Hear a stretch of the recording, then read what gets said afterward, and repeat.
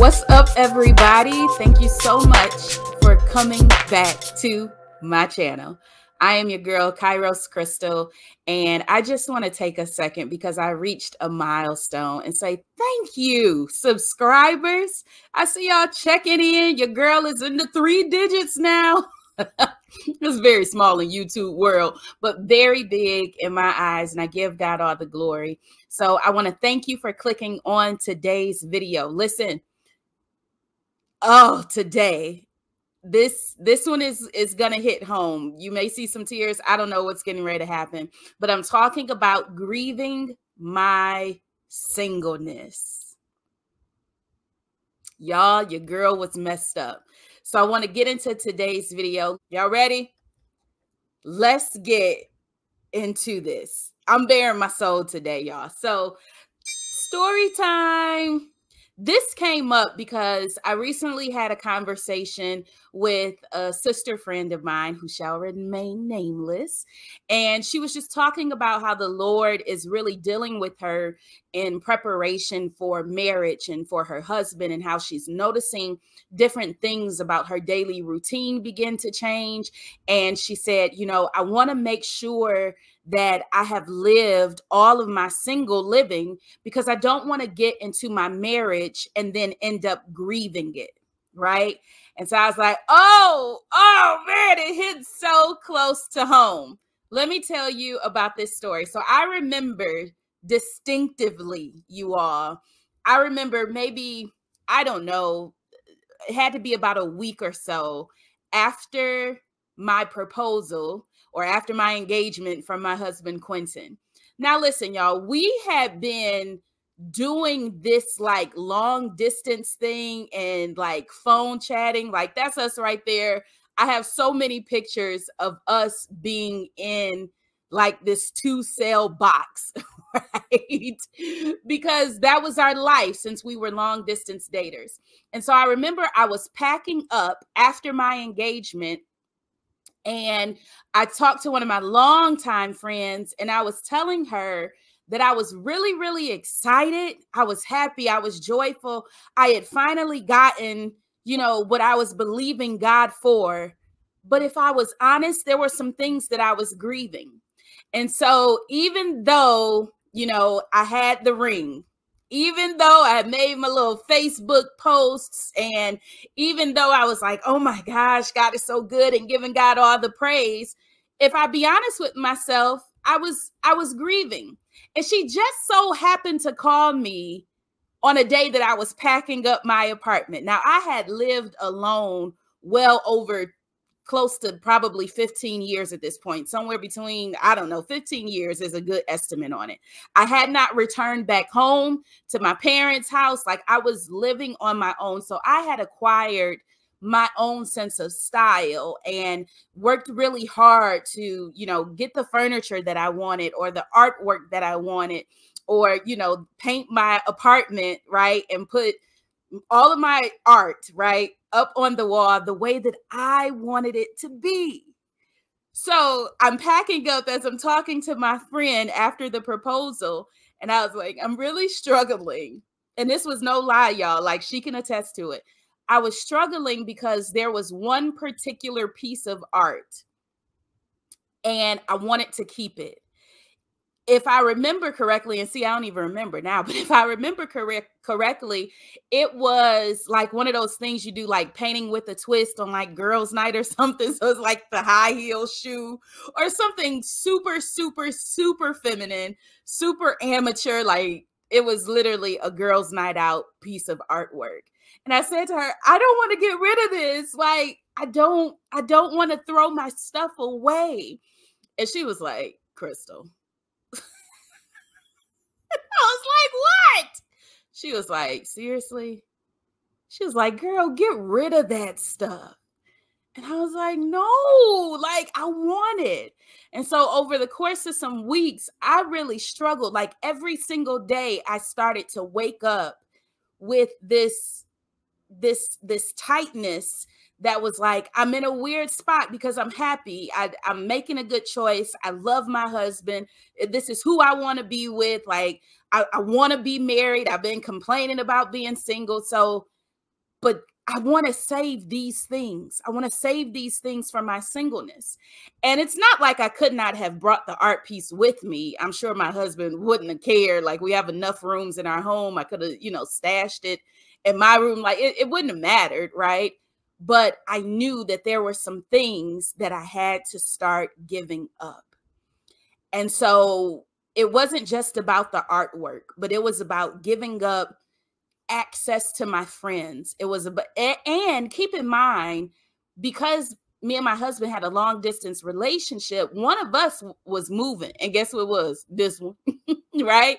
So I was okay with moving. I was up because I love adventure. I love to see something new. I was okay with all of that. But one day it just hit me like a sack of bricks. You're not going to be single anymore you you won't be able to do the things that you did in your singleness and so i want to share with you some scriptures that the lord gave me and keep in mind yes this was after our engagement or after our proposal but i believe as the lord is bringing you closer to your kingdom spouse, your divine introduction of a husband, I believe that he will start to deal with you in some of these areas so that you don't go into your marriage wishing and hoping that you were single again.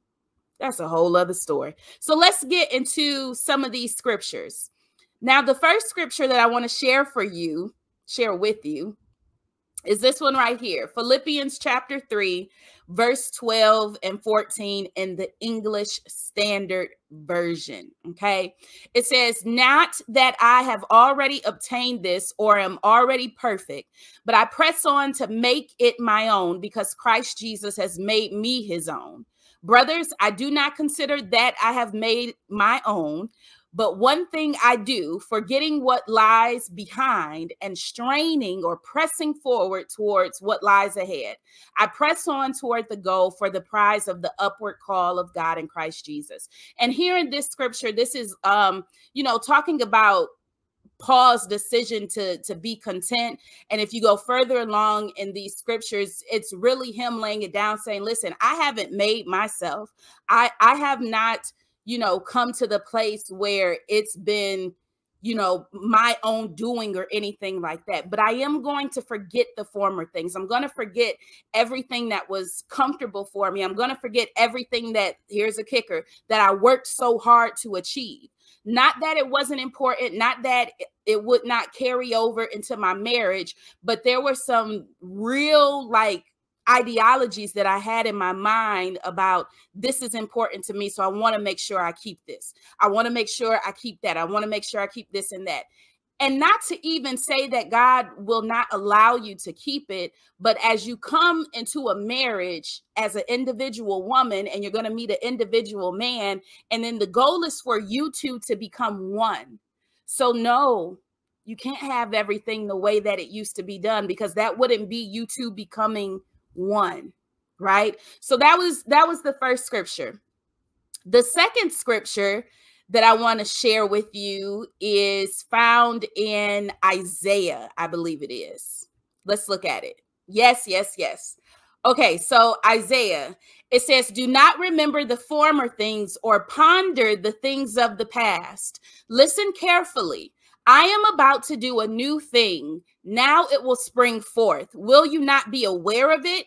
Can you not even comprehend it? And then it goes on, I will even put rivers. I'm sorry, I will even put a road in the wilderness and rivers in the desert. And so this scripture was very powerful for me because it was like, Krystle, you are trying to hold on to your old life here you are, you've prayed, you fasted, you've been, you know, God, when is it going to be my time? And God, I can't take it anymore. And you've done all of these things seemingly to want to get away from it or because you're so sick of it. And now God has answered your prayer in a most beautiful way. And you're like, but I want to I, I want to hold on to, you know, my old this and that, or my old schedule, my old routine, and my old pictures. And it was like, Krystle, but I'm doing a new thing. Like, you you don't have to hold on to that to that image anymore you don't have to hold on to that safety net anymore and a lot of times this is what was going on in me because i had lived alone for such a long time and remember this was during like the onset of the pandemic and the shutdown so i had honestly an attachment to things i had an attachment to things and those things brought me comfort. It brought me comfort to see the high heel shoe painting with a twist you know picture on my wall because that brought me back to a moment where i was lonely and my girls was like hey let's get up and let's go do something right? I i love that i could have pinks and purples and and fuchsias all in my home because it brought me back to you know this idea of my femininity and who you know who i am my softness and being girl like and all of these things. And so it wasn't that there's something wrong with that but my, our attachment can't be found in things. At a moment's notice we ought to be able to to give it up to to let it go all for the glory of god. So the lord had to show me like krystle i'm doing something new. And then there was even that meme i could not find it you guys but that image of it, it depicted God or Jesus having a huge surprise, like a huge teddy bear or something behind his back. And the little girl has like, you know, little mini, cute little mini teddy bear. And she's like, God, I can't give it up.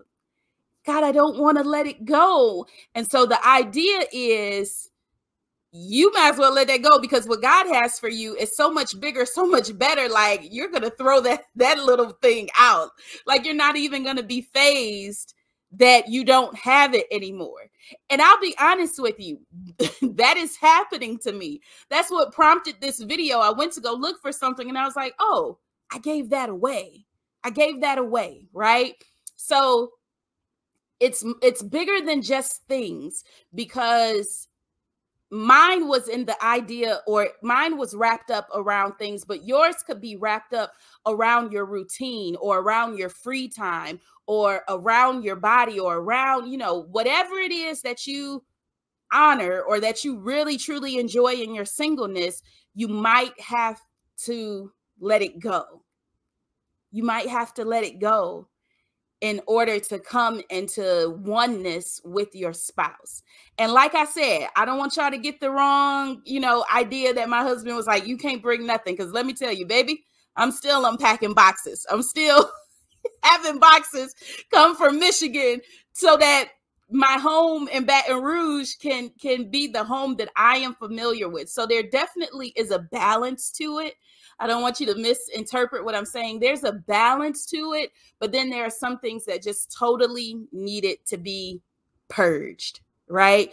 And so here's what God continued to remind me Krystle, your singleness has a purpose and and you have fulfilled that purpose. You have walked in that purpose and it's not just to prepare you for marriage. So it's okay that I was expressive in a in my own person, my own woman. It's okay to have come into this sense of accomplishment with the things on my own. But now was the time for something different let me say that again. Now was the time for something different. Let me take you to this scripture over in Ecclesiastes. Okay. Ecclesiastes, Ecclesiastes, y'all know that's a little tough to say sometimes. Chapter three. Now, verses one through eight is what we know as the a time for, a time for. It keeps repeating itself a time for this, a time for that, a time for this, a time for that. And so in the New Living Translation, I love how if the the verse I want to focus on is verse 6, but it starts with verse 1. It says for everything everything there is a season, a time for every activity under heaven. I believe in the maybe amplified version, I think it breaks it down and it says that there is an opportune time or that there is divine timing for everything under the sun, right? And then it goes into a time for this, a time for that, blah, blah, blah, blah, blah. So in verse six, it says that there is a time to search and a time to quit searching. Now that's a message by yourself, but that's not what I want to focus on today. Child, I saw that in that version. I was like, yes, Lord. Okay, let me get back. A time to search and a time to quit searching. And then check this, y'all. A time to keep and a time to throw away. A time to keep and a time to throw away. This is important. This is important. There are going to be some things. I, I don't care if you have a long distance relationship and you have to move. I don't care. I don't care.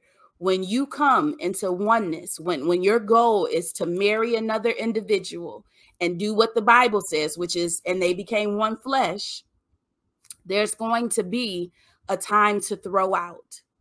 Now, the things that you have to throw out could be A to Z, right? Holy Spirit's going to deal with you on that because that's going to be something different for everybody. For me, it was pictures. Of course, I I per, for for most of us, it's going to be here's a tip, a practical one, right, or a typical one. Your clothes. You you might not be able to take all them clothes. okay, you might not be able to. You know, I don't care if, if y'all got your walk-in closets or whatever, or or you know your collection, your exuberant amount of dot dot dot dot dot right? Mainly because it's just common courtesy right? You you don't just bring all your stuff and not leave room for your partner. Hmm? Hmm? Okay? So whatever your list is holy spirit will show you the things that you need to start getting rid of. I've always been generous. It's nothing for me to to take a bag to the Goodwill, give this away, you can ask my friends. Like I've always been a generous person and, and willing to give stuff away. But this one was different. This one started to to hurt me. Why? Because I had that attachment to some things in my singleness, to some unresolved emotions and feelings that I didn't fully submit unto the Lord. So when Ecclesiastes says that there's going to be a time to throw away, mark my words, the Lord is probably going to start doing that in your life moments, days, months, weeks, years before you are meeting your husband or preparing to be engaged or preparing to be married, all of those things. I remember I literally started posting stuff on Facebook and I don't like moving no way, y'all. But I was like, it's free. Come get it. you want a toaster, come get it. You you want this China set, come get it. You want this, come get it. Come get it, come get it. And then I started like finding other people to be a blessing to. There was another young couple in my apartment complex. And I said, she had actually, I think she had posted that they were in need of stuff. And I was like, girl, whatever, come shop. And uh, that's what I did. I said, come in my apartment, whatever you want that is not like tagged with stuff that I'm already taking, you can have it. It's yours. Like, take it, right? And there was so much release in that. There was so much peace in that, if I'm honest, to know that that season was over. And here's the kicker here's the, the true thing. We hold on to stuff because we think we need it. Like, I really admire people who are minimalist and, you know, tiny house living. More power to y'all. I can't do that. I can't do that.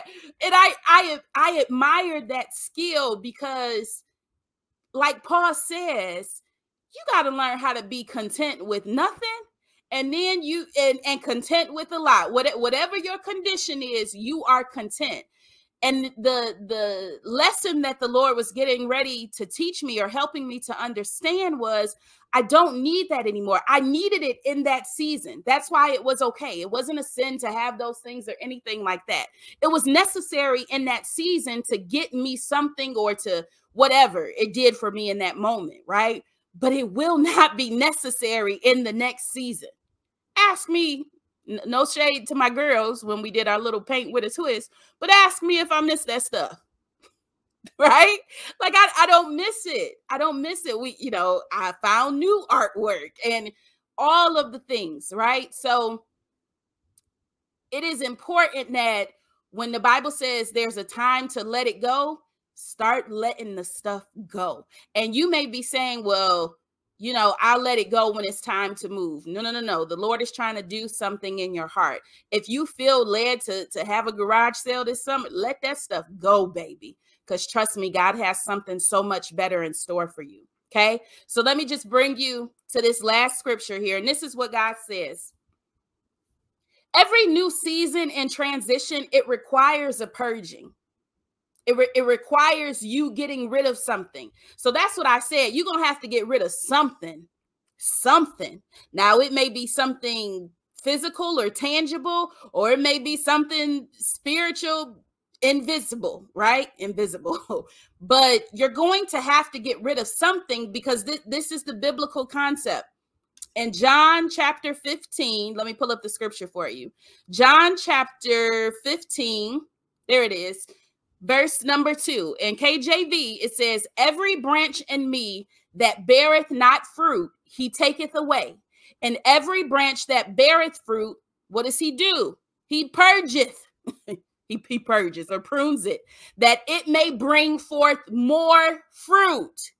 So listen, I don't, whatever your thing is, is going to be your thing. But because you're moving into a new season, because you're going to a new transition, right?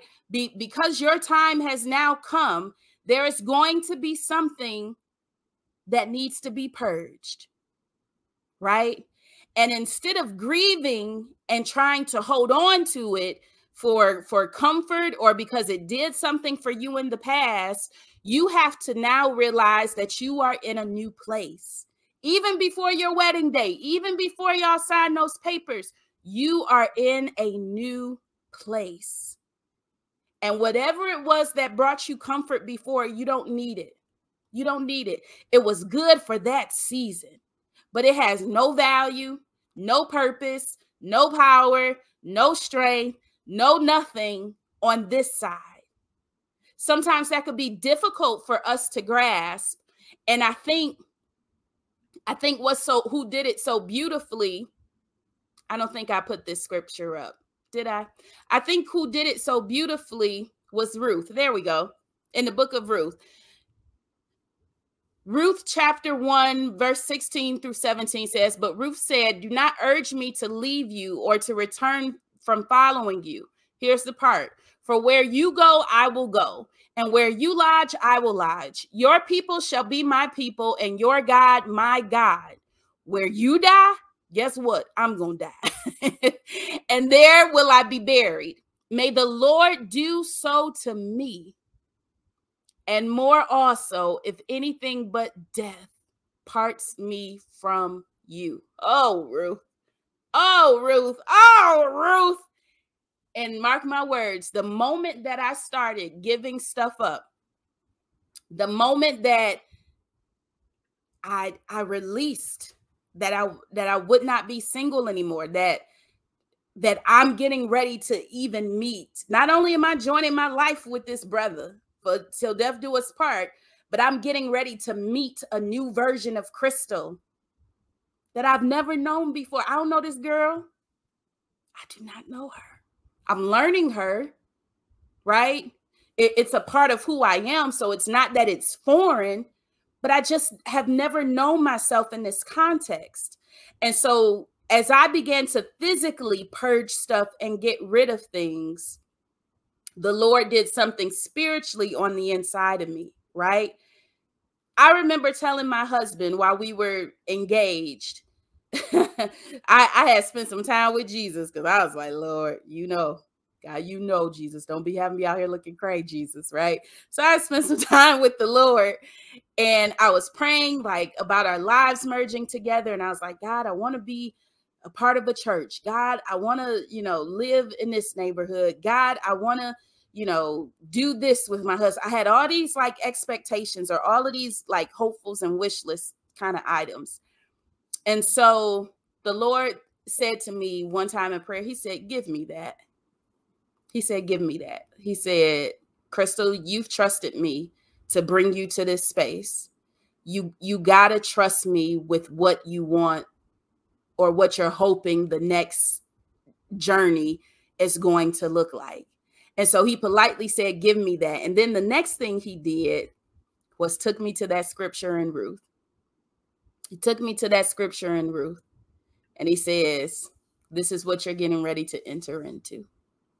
And I was like, Oh, uh, I was like, oh, he said, yeah. He said, yeah, this, this, this is the type of covenant.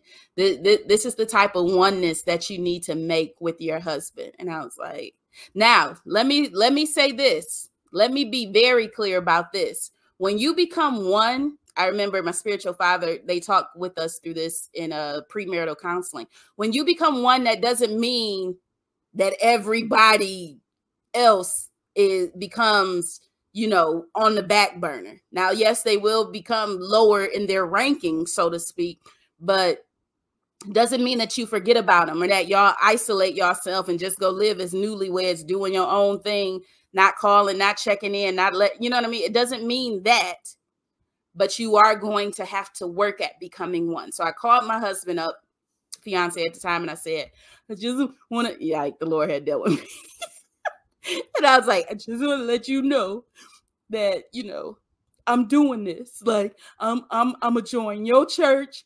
I'm a, you know, I'm gonna do dot dot dot dot dot dot dot dot dot.